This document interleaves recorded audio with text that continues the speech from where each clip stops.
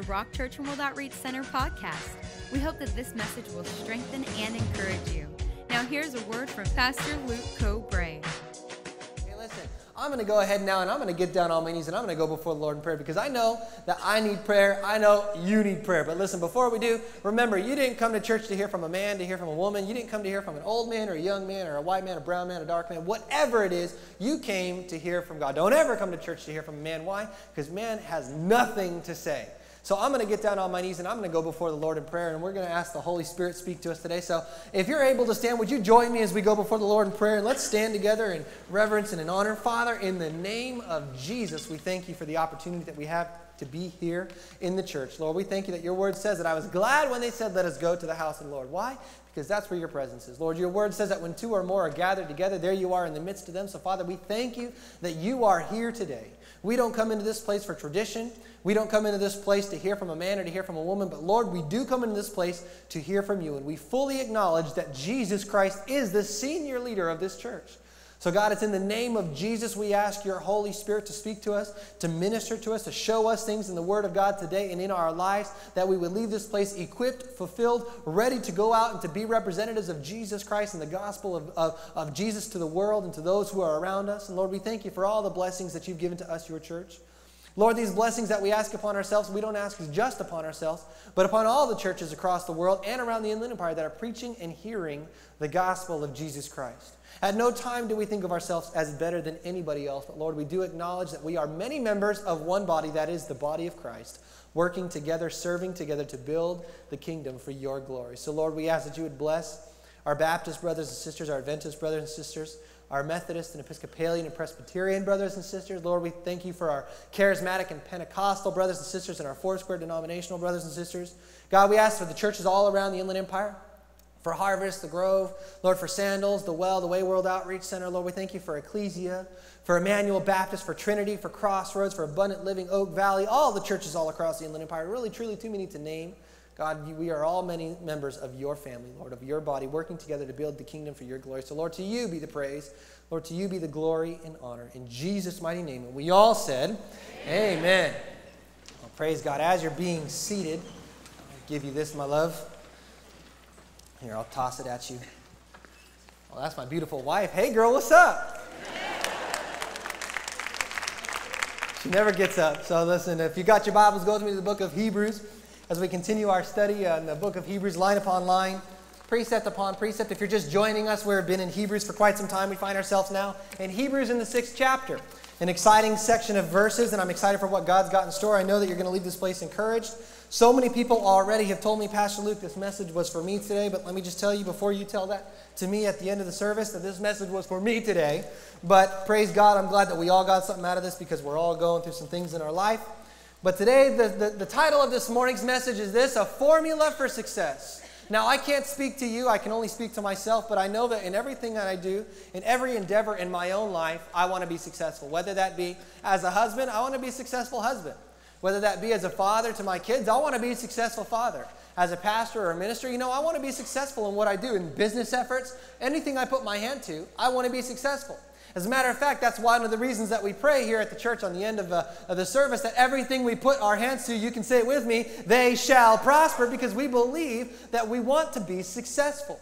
Now, again, I say I can't speak to you. Maybe you don't want to be successful, but I have the inkling that you want to be successful in your life as well.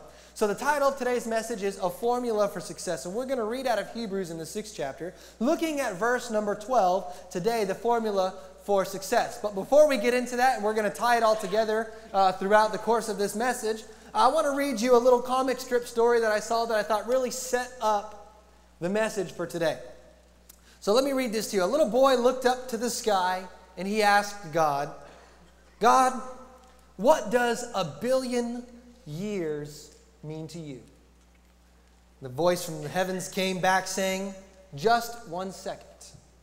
The boy asked again, Wow, God, what does a billion dollars mean to you? Again, the voice from heaven replied, It's just a penny. Whoa, the boy said as he replied back, God, in that case, can I have a penny?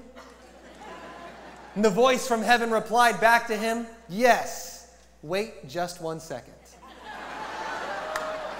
For those of you that it's kind of settling in, remember a second was a billion years to God, you know, kind of, all right.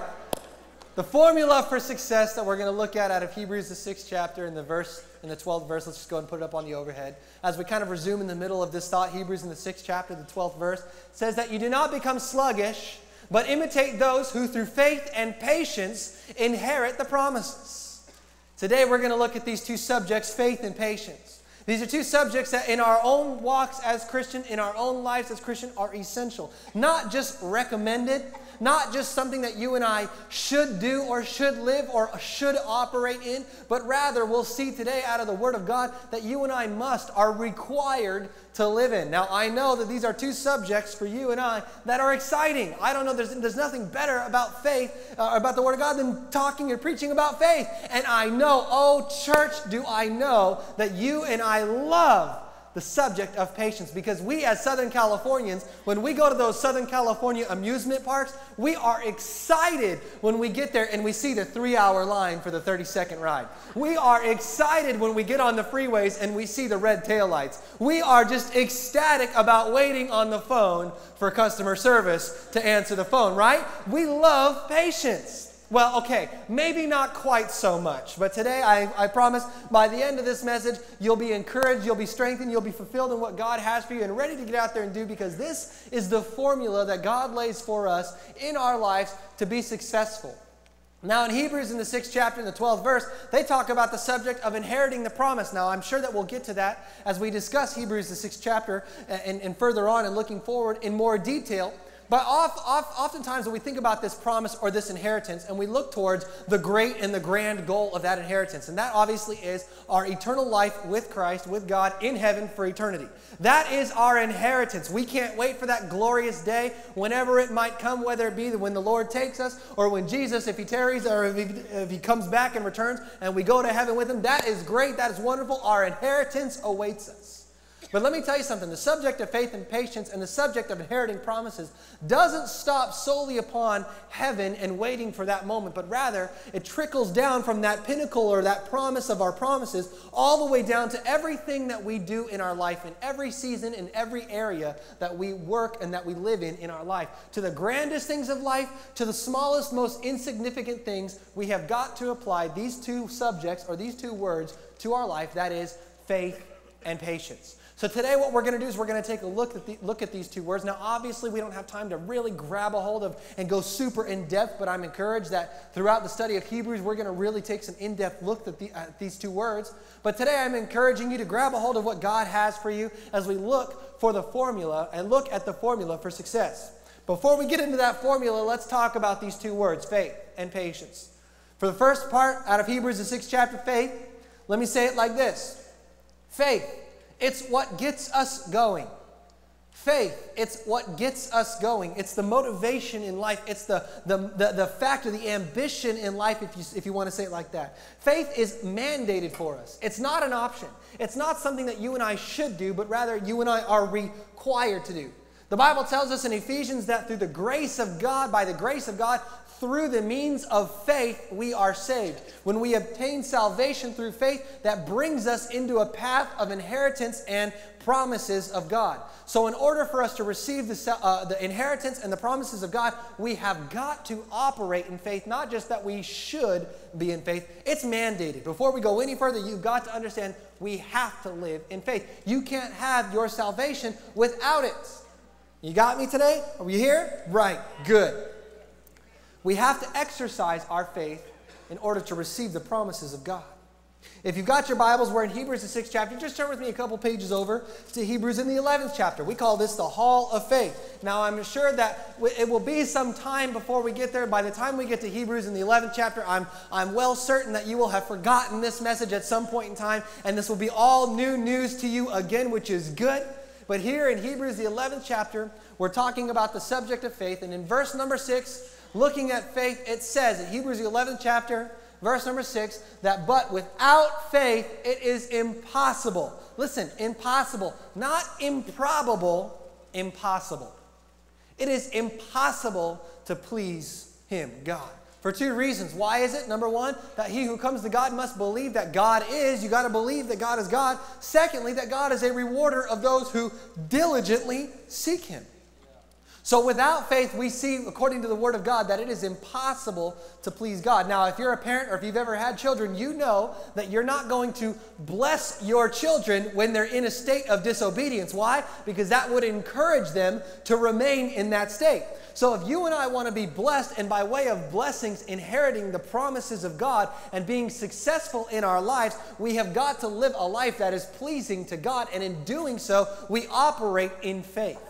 It is required for us to be pleasing to God, and in, by, by way of being pleasing to God, inheriting the promises and accepting and getting those things that God has promised to us in our lives. Now, I love the, the, a few verses down. The Bible tells us about the patriarch of faith, Abraham, the father of faith.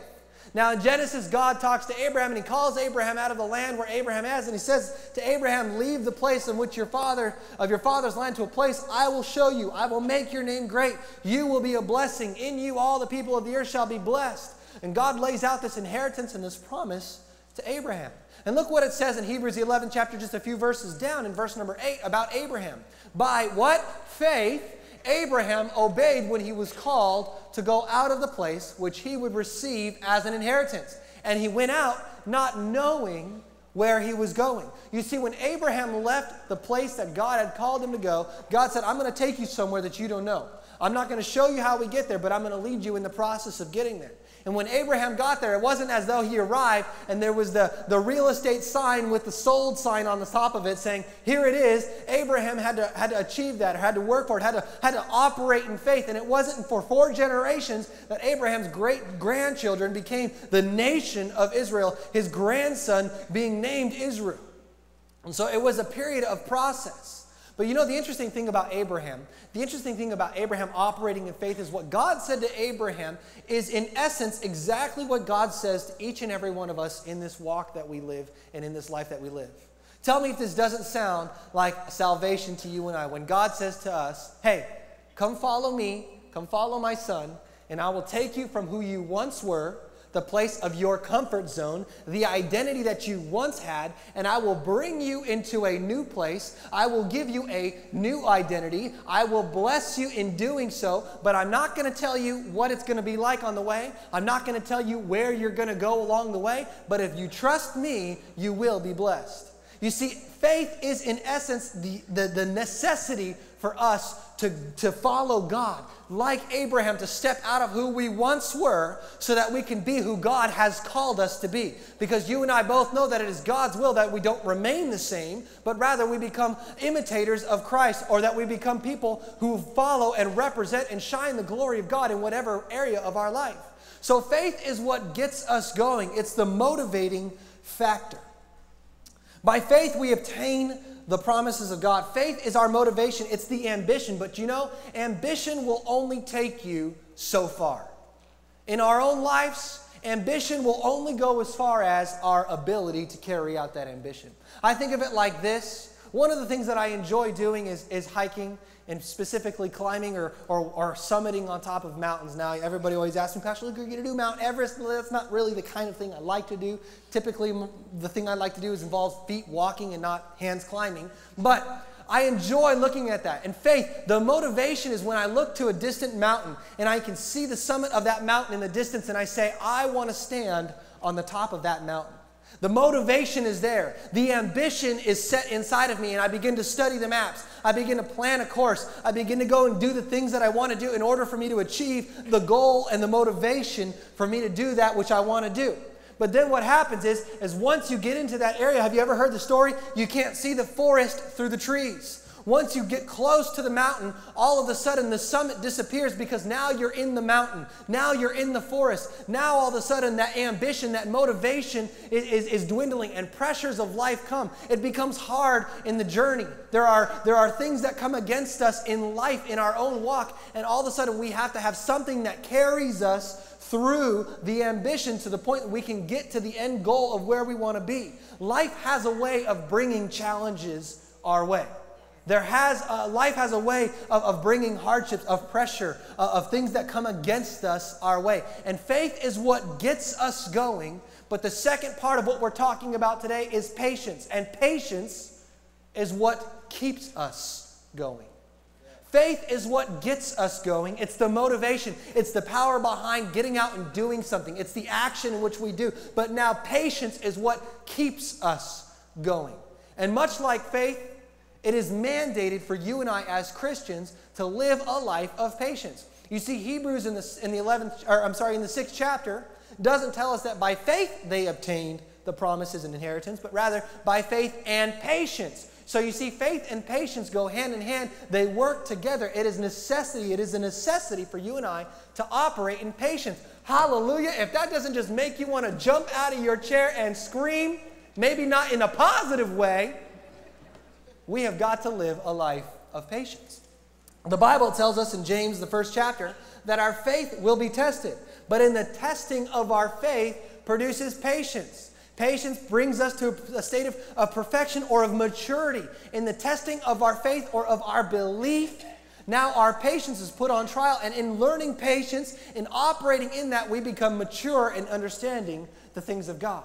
In Romans, the fifth chapter, the Bible tells us that patience brings on character, and character brings us to hope. Now, the interesting thing about hope is, as defined in the Word of God, hope is basically a confident expectation. You see, you can't have faith unless you have hope. Why? Because if you don't have a confident expectation of something, what gives you the right or the ability to believe it? Let me boil it down to you like this If you didn't have a hope of Jesus Christ being your Lord and Savior, where would your faith be based on of following Jesus? But rather, the Bible tells us that Jesus came and died for our sins that we could follow Him and, and, and live eternal life with God in heaven. That is our confident expectation, and now our faith follows through, built on the foundations of our hope. And the Bible tells us in Romans that our, our perseverance, our patience, produces character, which brings on hope. You see, so hope is the foundation of faith, and faith brings on perseverance or patience, which brings on hope. And so you see, it's this cycle, it's this circle of, of, of, of, operating in our lives. And so we have got to live a life of patience. It's required of you and I as Christians to live in patience. Praise God. If you've got your Bibles, turn to the book of Luke. Let's go to the book of Luke in the 21st chapter. Luke 21. Here, Jesus is, is laying out for his disciples, his followers, a, a picture of what things to come will look like. Really starting in verse number 10, but I'm going to pick up in verse number 16 of the 21st chapter. Jesus is painting this picture, and, he, and I believe in verse number 16, it really paints the picture. It really gives us, gives us the idea of where he's going with this. In verse number 16 of Luke in the 21st chapter, Jesus says to his disciples, You will be betrayed even by parents and brothers, relatives and friends. And they will put some of you to death. And you will be hated by all for my name's sake. But verse number 18 comes along and says, But not a hair of your head shall be lost. Now, interesting that Jesus says some of us, some of them would be put to death. But then he goes on to say, Not a hair on your head would be lost. How is that? Because Jesus is speaking to the internal inheritance that we have. You see, the Bible tells us that God knows every hair that is on our head. Praise God for some of us, it's more than others. This morning may have been less than yesterday, but God knows every one of them. And Jesus says that you will not lose a hair on your head. Why? Because in eternity, inheriting the promises of God, you get it all back. He says, You know, some of you might be put to death by those who will love you. You know what? The hair that you have, it's going to fall out anyways. The skin that you and I live in, as we get older, gravity's going to take its place and it's going to droop and sag anyways. But here in eternal inheritance in the kingdom of God, we will have a place that moth does not destroy, but rather a new and redeemed body where some of us who have less than others will look like Samson in heaven because all of those hairs that we once had, God says, you won't lose a single one of them. So, Fred, there's hope for you today. But he goes on to say, here it is, verse number 19 By your patience, possess your souls. By your patience, possess your souls. Jesus says the people closest to you might turn on you. But by your patience, possess your soul, souls. The New Living Translation says, by standing firm, you will win your souls. You see, in life, there are going to be times, you might be in one of those times right now, but there will be times for each and every one of us when all signs point to giving up. When your family's going to tell you you're crazy when everything around you says that faith isn't working, that your belief isn't working, that what you're going through right now is a, there's a reason for it, and you need to stop what you're doing and evaluate your life. But you see, patience is what keeps us going because we know that God is on the other side. And though we might be facing mountains in our life, the Bible says that if we have faith of a mustard seed, we can say to that mountain, Be thou removed, and cast into the sea. So you see, patience is what keeps us going. Jesus, as he recounts the same, or Matthew, as he recounts the same statement that Jesus makes, in Matthew, I'll just put it up, it says, Jesus says, He who endures to the end shall be saved. You've heard this before if you've ever been in church for any amount of time that we're not walking or we're not running a sprint, but this is a marathon in which we live. Paul the Apostle said that I have fought the fight, I have finish the race. We keep our eyes focused on God, and it is our patience, our long suffering, our fortitude in God that keeps us moving forward and in a forward direction. Pastor Jim, a few weeks ago, said that patience is the antidote to the pressures of life. That patience is the antidote to the pressures of life. You see, this life that we live is a pressure cooker. The more we add to this life, the more money we add in our jobs, the more responsibility we add in our work, the more kids we add to our homes, the more rooms we add to our homes, the more cars we add to our garage, the more tires we add to our cars, whatever it might be, the pressure builds on our lives. And if we have nothing to relieve that pressure, there will be a time in our lives where we break or we pump. But patience is the antidote to the pressures of life because we know that God is on our side. And though it might be an uphill battle right now, though it might be a long and a hard journey in which we're going through, we know that on the other side is God and our inheritance and our promises. And we can endure. There was a man in history by the name of William Carey. William Carey became a shoe cobbler. A shoe cobbler is basically a shoemaker or somebody that came and repaired shoes in the olden days. William Carey lived in England, and now in this time, God had set something upon his heart to go and minister to the people of India. And so William Carey ventured on his journey to India, and in this process, he was faced with delay after delay after delay. Now, see, you and I get frustrated when we get on the freeway and we see traffic. Now, imagine trying to get to your destination and being delayed for years on the 10 freeway. Praise God, we don't. So, William Carey was a man who faced delay after delay after delay. And when he got to India, he faced hardship after hardship after hardship after hardship and it was on his heart. God had impressed upon him to translate the gospel of Jesus Christ into the modern dialect or to the, the, the, the, the, the geographical dialect. And there, William Carey fought a fight. There, he lost his two year old son. There, his wife died. There, all of his life's work towards the end of his life, all of the translations, all of the teachings, all of the things that he had done to, to bring the gospel of Jesus Christ to these people was lost in a fire and everything was destroyed. William Carey said that the road traveled the second time is easier than the first. One of the things that he said towards the end of his life was this statement I can plod, I can persevere in any definite endeavor. To this, I owe everything. Now, when I said that statement to my wife, I had this power and, and, and, zeal behind it, and I thought, man, that's such an amazing statement. And she looked back at me like many of you are looking at me right now, and she said, what does that mean? Let me tell you what that means. To plod means to walk doggedly and heavily. To plod means to walk doggedly and heavily. heavily. You know, I think back to the illustration of, of, of climbing or hiking to the top of a mountain. When you start off, it's early in the morning, you've got a, a, breakfast in you, and you've got all this energy and motivation, and your steps are fast, and your pace is good, and you're making good timing. But as you progress, your body begins to fatigue, you become hungry. As you increase in elevation, the air decreases or the oxygen decreases, and it becomes harder and harder to do things, and your pace begins to slow. And I remember there was one mountain that I was on, and we were above the tree line, and we had to take 20 steps and take a break. It was so tiring for us. And to plod simply means to put your head down and to put one foot in front of the other. You might say, you know what? I'm not going fast. I'm not running like when I started this race, but praise God, by the power of God and by the patience of God, I'm still putting one foot in front of the other, and I'm not stopping. I'm not backing down. Hey, it may, I may not get there when I thought I was going to get there, but praise God, I am going to get there.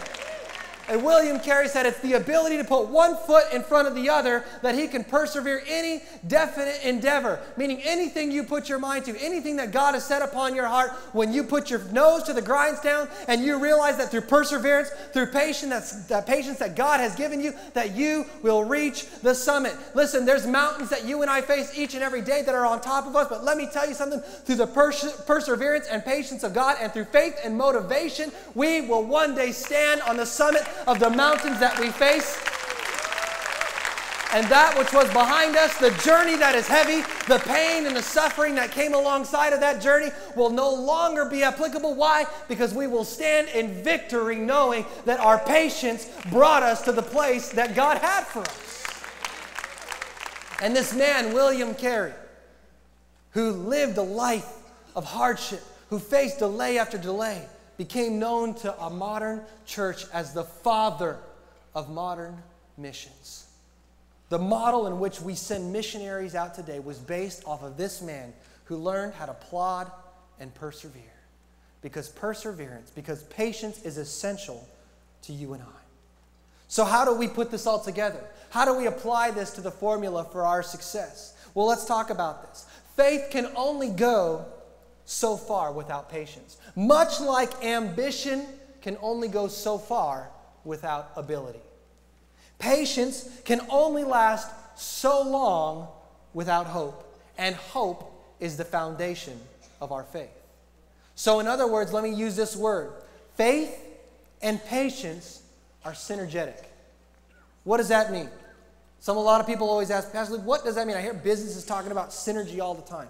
Synergetic simply, simply means this that there are two substances and both of them are good on their own, but when they come together and they work together, they are stronger, more beneficial, more powerful together than when they were when they were separate. And you see, you can go through life and say, Wow, I've got faith. And you can go through life and say, Wow, I will survive. But whatever you do, when you put the two together, now all of a sudden your life becomes synergetic. Why? Because faith produces patience. The testing of our faith produces patience. Patience produces character. Character brings hope. Hope is the foundation for faith. You know what that means? That means upon hope, you build faith. Upon faith, you use patience. On faith, patience, you get hope. On hope, you get faith. On faith, you get patience. On patience, you get hope. On hope, you get faith. On faith, and you see it gets bigger and bigger and bigger. I'm sure there are many of us in this place today that as we live our lives, we look back at the things that we once believed for, we can scoff or we can laugh at them and say, wow, I can't believe that I had a hard time believing that God would come through on this because now the things that we face in our life are much greater. And you see, that is exactly it. When you apply faith and patience together and they work together, they are more powerful together than they are apart. And that is why they are mandatory for you and I. So the question begs then, how do we operate in faith how do we operate in patience? Well, let's start with faith. How do I operate in faith? The Bible simply tells us in Romans, the 10th chapter. Romans in the 10th chapter, verse number 17, very familiar verse for many of us. It says that faith comes by how? And hearing comes by what? Well, let's try that again. Half of you were here. Faith comes how? Hearing comes how? All right, see, now half of you aren't hearing. Faith comes by what? Hearing. And hearing comes by what? Now, you see, you can just hear, but you can't just hear because, you know, I've got two kids at home. They scream all day long. I hear them, but do I listen? So, you and I have got to set time aside to sit under the Word of God, to allow the Word of God to influence our lives, to affect us, to become uh, ingrained inside of us, to listen to the Word of God so that when we listen to it, we, we can apply it, and when we apply it, we live it. You see, there was a man by the name of John Wesley. John Wesley is the, uh, is the, is the uh, founder of the Methodist denomination in England. He was the father of the evangelical awakening in England. John Wesley uh, went to his mentor and his friend one day, a man by the name of Peter Bowler. And Peter he said, to his, he said to his mentor and his friend, I have no faith. I think it's time for me to resign or step back from the ministry. And his friend, in all of his wisdom, replied to him simply this John, preach faith until you have it. And when you have it, preach it.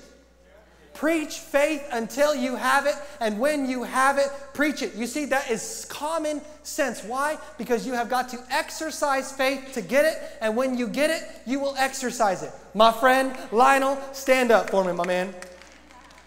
You don't look like that, a wall of a man, overnight. You have got to exercise your muscles to build them. And then when you build, sit down, man. This is my message instead of yours.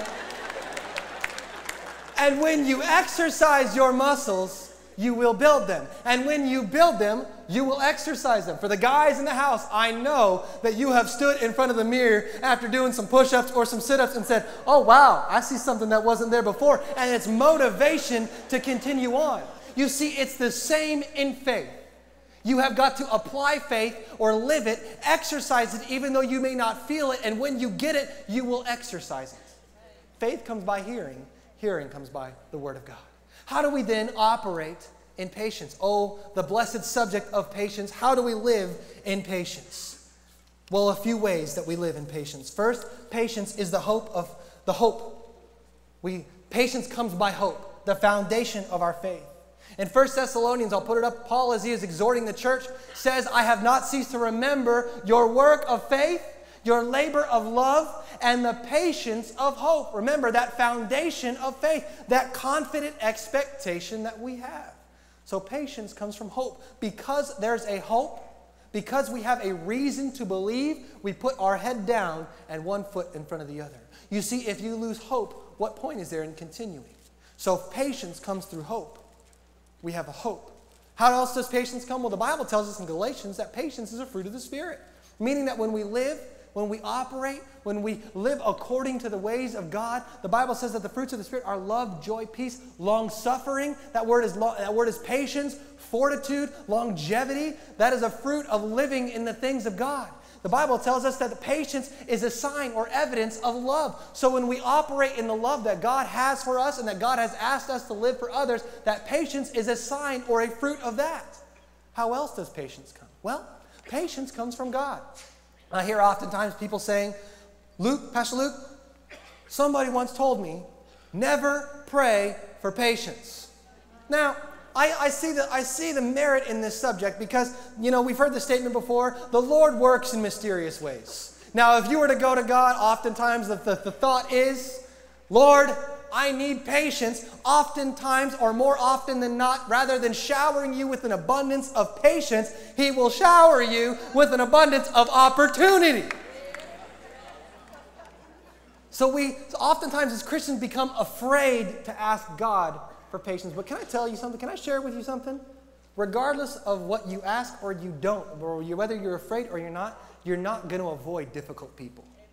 You're not going to avoid obstacles or opportunities to exist in patience.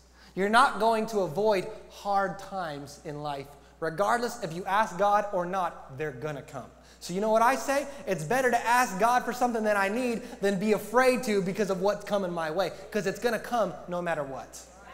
And the Bible tells Paul exhorts the church again as he, as he exhorts them and he believes for them in prayer. And in Second Thessalonians, he says, Now may the Lord direct your hearts into the love of God and into the patience of Christ. So Paul says, May the Lord direct our hearts into the patience of Christ. The patience comes from God. It's our faith that provides our motivation, our patience provides our forward movement. So here it is. Let's put this together the formula for success. Hebrews in the sixth chapter, verse number 12. Four things out of this verse the formula for success that you do not become sluggish, but imitate those who through faith and patience inherit the promises. Here it is the formula for success. Number one, it's going to take work. Now, the Bible clearly tells us that we don't work for our salvation, but because of our salvation, we are put to work by God. It's going to take work, not sluggish life or laziness. Secondly, the formula for success is that God hasn't directed us in a life without giving us examples to follow or a roadmap of, by way of giving us people. So we have got to follow after the examples that were set before us. The formula for success, the third element to that formula, is that we have got to operate in patience, or I'm sorry, excuse me, Faith, that is, that's what keeps us or gets us going, the motivation to get up and do something. And the last formula for the success today is that we have got to operate in patience. That is what keeps us going. To keep putting one foot in front of the other, one in front of the other, whether it be fast paced or slow paced, whether we have to stop and take a break for a minute, but to not give up, to not quit, to not relent, but to continue to push forward. Like Paul the Apostle said, I have fought the fight, I have finished the race. And let me say this by way of, of encouragement. One of the verses that I love to say all the time is Galatians in the sixth chapter, the ninth verse. It says, Let us not grow weary while doing good. Why? For in due season we shall reap. How? If we do not lose heart. Which means, church, there may be a mountain in your way. And you may be on your way up that mountain. And it may be a long and a terrible journey. It might take everything that you have in life to get up there. But the Bible says, don't grow weary while doing good. Why? For in due season, you may get to the top of a hill and think that you're at the top only to see miles ahead still to go. But you will look at the top and there is hope that one day, one day, in due season, you will stand on the summit of the mountain that once stood on top of you, and you will say, No longer is this mountain on top of me, but now it is under my feet, and I will reap if I don't lose heart. Yesterday, a lady said to me, Pastor Luke, this message was for me. I feel like I'm in a little boat in the middle of the ocean in a great big storm. And I said to her, Listen, faith and patience. One thing that you and I have got to remember is we may feel like we're in a boat in the middle of the ocean in a great big storm. But one thing that you and I know, the hope that we have that builds our patience, is that we have Jesus Christ in that boat with us. And if you ever read any account in the New Testament when Jesus was in a boat during a storm, things worked out okay. In due season, you will reap if you don't lose heart. Faith and patience, the formula for success. Faith and patience. You can do it. All you got to say is, I can do it. I can do it. Why? Because the Bible says that what? We can do all things through Christ who strengthens us. Amen? Did you guys get something out of the word of the Lord today? Praise God. God is good. Amen? Hey, listen, let me do one more thing. Give me a moment more of your attention. Thank you for remaining seated. Thank you for staying. I want to just ask you a question. You see, the Bible tells us that we ought to examine ourselves from time to time. So let me ask you a question that you can examine your heart. If you were to leave this place today and you were to die, would you find yourself in heaven or would you find yourself in hell? It's a relatively simple question. Why don't you answer that in your heart? Do you know that nowhere will you find that you can get to heaven because you want to, because you think so, or because you hope so? As a matter of fact, if you say, Well, I think I'm going to get to heaven, I hope I'm going to get to heaven, or I want to get to heaven, just by the very fact that you say that, you're likely not on your way. Why? Because if you knew it, you would go. If you, if you were on your way, you would know. See, you can't get to heaven because you want to. Like, I think I can, I think I can. Nowhere in the Word of God does it say that because you're a good person, because you do good deeds, because you give to charitable organizations, or you don't rob the 7 Eleven. Nowhere will you find that in the Word of God that because you're a good person, you're going to get to heaven. Yet, so often in America, we believe that all we have to do is live good lives to get ourselves into heaven. But the Bible tells us that our good deeds, according to God, are like filthy rags. Nothing you and I could ever do on our own would ever make us good enough. We can't work our salvation or work our way into salvation. It's more than that. You know, sometimes we believe, oh, well, I was brought up in church. My parents took me to church as a child. I was baptized or christened or attended seven Sunday school or Sabbath school or catechism classes. I went to church on Christmas and on Easter. All my life, my parents told me I was a Christian. Did you know that nowhere in the Bible does it say that because you attended church as a child, because your parents told you you were a Christian, because you were baptized or christened as a baby, because you went to Sunday school or Sabbath school classes or something like that, that you're going to get into heaven? Nowhere in the Word of God does, you, does it say that. You won't find that in the Word of God. Oftentimes we think, well, Pastor Luke, you know, I, I've called myself a Christian all my life. Pastor Luke, I've got a cross or St. Christopher around my neck. I've got a tattoo on my back or on my wrist or on my foot that has a scripture reference. Doesn't that mean I'm going to get into heaven? Listen, just because you've given yourself the title of Christian doesn't mean that you're going to get into heaven. You see, what we do in our day and age is we say, I'm a Christian, but, and then add the vice behind.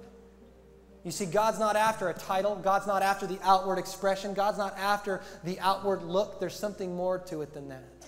Jesus, as he was speaking to a religious leader of his day, a man by the name of Nicodemus, you can find it in John, the third chapter. As they were conversing about the subject of eternal life, Jesus gave Nicodemus the pathway, the way to get there. And that is, Jesus says to Nicodemus, You must be born again. Now, You've heard of born again, you've heard that term, Hollywood popular culture society. They make you think of crazy, weirdo, out of control Christianity. But let me tell you something. From the beginning of the Bible to the end of the Bible, it's always meant the same thing in the eyes of God. Here it is. You ready? That you've given God all of your heart, you've given God all of your life. You see, it's an all or nothing relationship with God. God's not after your mental assent towards Him. God's not after your carnal knowledge of who He is. God's not after the fact that you can memorize John 3.16 and a few other verses. Why? Because the Bible tells us that the devil in hell knows some of the scriptures of the Bible. The Bible tells us that the demons know who Jesus is, yet they're not on their way to heaven. Why? Because God is after all of your heart. He's after all of your life. Let me prove it to you in the Bible. In the book of Revelation, the last book of the Bible, Jesus is speaking to the church. People like you and I, hearing the word of God, doing good things, sitting and congregating and, in the name of, of God. And he says to the church, I know your works. When I come back, I better find you hot or I better find you cold, he says, because if I find you lukewarm, Jesus says, I will vomit you from my mouth Wow. rude, crude, shocking statement from the mouth of Jesus. And what Jesus Christ is saying is that lukewarm Christians are not real Christians at all and will be rejected and ejected from the kingdom of God. You say, well, Pastor Luke, what does lukewarm mean? You think of it on a day like today, a hot day. Lukewarm is like a warm soda on a hot day. It just doesn't do the job. In terms of your relationship with Jesus Christ, it's a little bit in and a little bit out, a little bit up and a little bit down. You're kind of bouncing around a little bit of it, a little bit of church, a little bit of, of the things of, of the world, of your own life. You're not wholehearted for God. You're not wholehearted against God. You're riding the fence right down the middle. And Jesus says, You are deceived in thinking you're going to make it into heaven. Let me love you enough. Let me respect you enough. Let me honor you enough to tell you the truth today. You can't get to heaven on your own devices. You can't get to heaven based on your own thoughts. The only way we can get there is God's way. You see, it's God's heaven. It's God's way. The only way we can get there is God's way. Oftentimes people say, oh, well, I appreciate that. You get to heaven your way. I'll get to heaven my way. We'll all get there the same. Listen, that's like saying all roads lead to the moon. I'm sorry, no matter which way you drive, no matter which direction you travel in, you'll never drive to the moon. Why? Because it doesn't work that way. The only way you and I can get to God's heaven is God's way. And Jesus says this about himself that he is the way, the truth, and the life. No one goes to the Father except through him. We can't do it any other way but God's way. So today, let's not do it any other way but God's way. Jesus Christ also said that if you confess Him before men, He'll confess you before His Father. So today, I want to give you the opportunity today to ensure your place in heaven, to leaving hell behind. You know, you might even say, Pastor Luke, I don't believe in heaven. I'm not sure of the existence of hell. Listen, let me tell you something. Just because you don't think it's real doesn't mean it's not. It's real enough for God to speak about it. It's real enough for Jesus to teach about it. It's real enough for the Bible and the New Testament to tell us about it. It's real enough and serious enough for you and I to stop playing games and take it for real. So today I want to give you that opportunity. Jesus says, If you confess me before men, I'll confess you before my Father. If you deny me before men, I'll deny you before my Father. So, what are we going to do in just a moment? I'm going to count to three. I'm going to go one, two, and on the count of three, I'm going to go three. Smack my hand on my Bible, just like that. And on the count of three, if that's you in this place, I want to give you the opportunity to ensure your place in heaven for eternity, leaving hell behind. And what I want to ask you to do is to raise your hand. We'll do it all at the same time in just a moment. And what you're doing by the raising of your hands, you're saying, Pastor Luke, I acknowledge that I want to give God all my heart. I want to give Him all of my life. I'm a man. I'll see your hand. I'll acknowledge it. Put it right back down. You know, you might say, Pastor Luke, I don't think I can do that. I'll be embarrassed. People I came with are going to see me. They're going to know. Listen, let me tell you something. Wouldn't it be better to spend a moment of embarrassment than an eternity in hell because you couldn't go forward for God? The decision is yours. God's not a manipulator. He's not a conniver. He's not going to force his way or make his way. And you see, God has done everything he could by giving for you and I, Jesus Christ, to die on the cross for our sins. The decision is ours. So, who should raise their hand today? If that's you in just a moment, if you've never given Him all your heart, you've never given God all your life today, if that's you in just a moment, when I count to three, pop your hand up. I'll see it, I'll acknowledge it, and put it right back down. We'll go forward from there. Who should raise their hand? Maybe you're not sure. Listen, don't leave today without making sure. That's a gamble on your eternal life you can't afford to make. You don't know what tomorrow holds. So don't leave today without making sure. Who should raise their hand? Maybe you did this at a Billy Graham or a Harvest Crusade or as a child, but you never really followed through with it, never really got into it. Listen, today, if that's you, in just a moment, pop your hand up so I can see it. I'll acknowledge it, put it right back down. We'll go forward from there in our relationship with God. Finally, who should raise their hand if you've been living lukewarm, doing your own thing instead of God's thing, if you've been running from God instead of to God, if that's you today, let's make the day of your salvation you leaving hell behind, going forward in your relationship, ensuring for this day forward, for all of eternity, that you're going to spend the rest of your life with God in heaven, leaving hell behind and the life that you once lived behind. The decision's yours. All across this auditorium, whether you're in the front or the back, in the family rooms, wherever you're at, if you hear the sound of my voice around campus, wherever you're at, in the Love Rock Cafe, online, or in the foyer, wherever you're at, stop what you're doing and raise your hand so somebody can see, and we'll go forward in our relationships with God today. Here we go. I'm going to count. Get ready. This is the moment of your salvation. Here we go. Ready? One, two, three. Let me see your hands in this place today. Where are you at? Let me see your hands today. I see you. One, two. I see. Where's your hands at? Let me see your hands. Three. I see you right there. Where are you guys at today? I see uh, Usher four. I see you back there. If you're raising your hand, let me see it. Five. I got you right over here. Where are you at? Anybody else on this side over here? Five wise people. I got him. I got you right there, my friend. Six. I see you right there. Over on this side, if you got your hand up, let me see. Uh, give me a little wave. I got you right there. Seven. Where are you at? All right. Anybody else over here today? Say, I want to give him all my heart. I want to give him all my life. I see ushers pointing. I see you in the family room. Eight. Where are you at today? Anybody else in this place? How many in the family room? One, two, nine. All right. Hey, listen, where are you at, number 10? You say, man, I wonder if I should listen. It's not about me. It's not about man. You say, man, I feel like this guy's pushing me. I feel like this guy's driving me. You know what? I'm trying to drive you into heaven. But let me tell you this it's the goodness of God that draws men to repentance. Where are you at? Let me see your hand. I see Usher waving. He's in the foyer? All right, that's number 10. Where are you at, number 11? Come on. God's speaking to you. It's the goodness of God on your heart. Two in the foyer. I got you. Number 11. Number 12, come on, where are you guys at? I'm not selling knives at the county fair. Where are you at? You want to give them all your heart? You want to give them all your life? Come on, 13, I see you. 13 wise people. The Spirit of God's on you. You saying, I know I should. I wonder if I should. Come on, let's go forward in your life today. It's worth it. It's worth it today. Anybody else? 13 wise people. Didn't embarrass them. I won't embarrass you. Anybody else in this place today? 13 wise people. 14, I got you. Praise God. Where are you at, number 15, saying, I wonder if I should? 15, I got you. Oh, come on, where are you at, number 16? Oh, I feel you in this place. I got her already. I got her already. Where are you at, number 16? I got you. You can put your hand down, my man, my friend. 16 wise people. Anybody else? Anybody else? Well, hey, praise God for 15 wise people. Anybody? Praise God.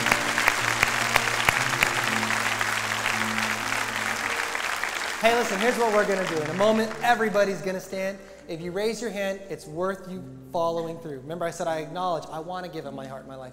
You give him your heart and your life by accepting him as your Lord and Savior. We want to lead you in a prayer. We want to help you change destinies, get some information into your hands. Listen, let us help you. You said you wanted to do this. Let us help you. So, in a moment, what we're going to do is we're going to all stand together. Elijah's going to sing a song. And as we do, I want you to grab your coat, your sweater, your purse, your Bible, a friend if you need a friend. If you came with somebody, tell them, Will you go with me? If you brought somebody, tell them, I'll go with you. Ushers will help you in the family rooms, wherever you're at. If that's you, as we stand together, come on, get out of your seat, get out of your chair, come meet me up at the altar, and let's change destinies together today.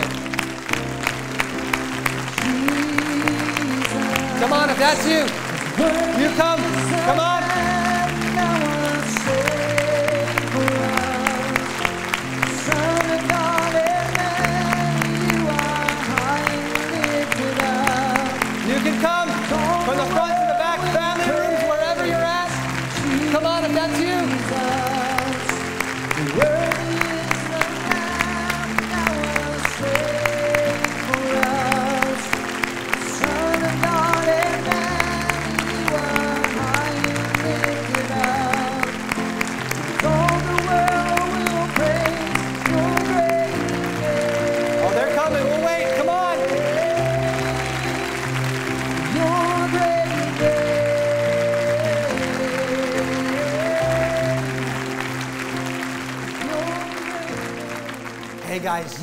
Listen, today is a new day. You know, you're not going to a funeral, you're going to a birthday celebration. Today's your birthday, your new first day.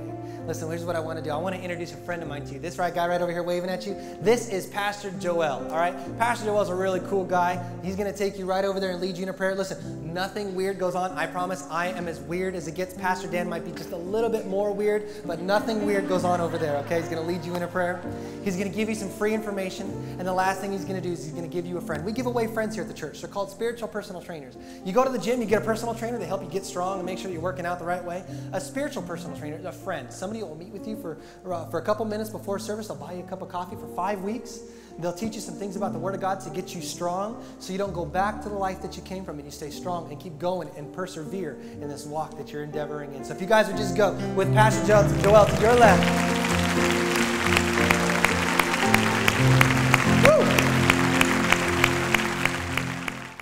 Hey, you just heard that altar call. You just wanted to give God all of your heart and all of your life. Now, let me lead you simply in a prayer of inviting Jesus Christ into your heart as your Lord and Savior. In fact, why don't you just go ahead and listen to me? And go ahead and close your eyes and just repeat these words after me. I'll go slow, you repeat them. Say these words Say, Father God, I come to you in the name of Jesus. I believe that Jesus Christ is your only begotten Son and that you sent him for me and that he died for me on that cross at Calvary. I believe that his blood washes away my sins, that I am now a new creature in Christ Jesus. And I thank you, Lord. I receive you now and forever as my Lord and as my Savior. I'm going to turn from sin and I'm going to turn with all of my heart and all of my life to you, Jesus, as my Lord and as my Savior. Let it be known in heaven as well as upon the earth that I am born again. I'm a child of God, that I'm saved, and I'm headed for heaven and denying my presence in hell. Thank you, Jesus. I'm alive forevermore. Love you so much. God bless you guys. Everybody just say amen and receive Christ as your Lord and Savior. So talk to you later. God bless you. Bye bye.